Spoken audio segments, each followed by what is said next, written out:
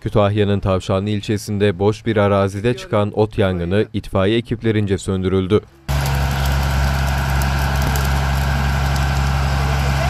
Olay Yıldırım Beyazıt mahallesine bulunan boş arazide meydana geldi. Kurumuş otlar bilinmeyen bir nedenden dolayı yanmaya başladı. Alevler kısa sürede tüm araziyi kaplarken mahalle sakinleri tarafından itfaiyeye haber verildi. Kısa sürede olay yerine gelen itfaiye ekipleri boş arazideki yangına müdahale etti.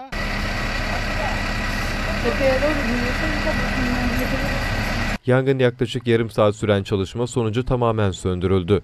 Polis yangınla ilgili soruşturmasını sürdürüyor. Yardım